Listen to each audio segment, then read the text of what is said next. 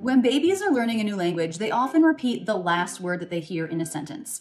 When I used to clean up my kid after dinner, I would say, Let's get you cleaned up. And guess what word he used to say back to me? It wasn't up, it was dup. The ending D linked onto the beginning vowel. Linking is so common in American English that he heard that unit as a word. And we love linking in American English, so make sure you take ending consonants and link them on to beginning vowels. So rather than cleaned up, think cleaned up. Cleaned up.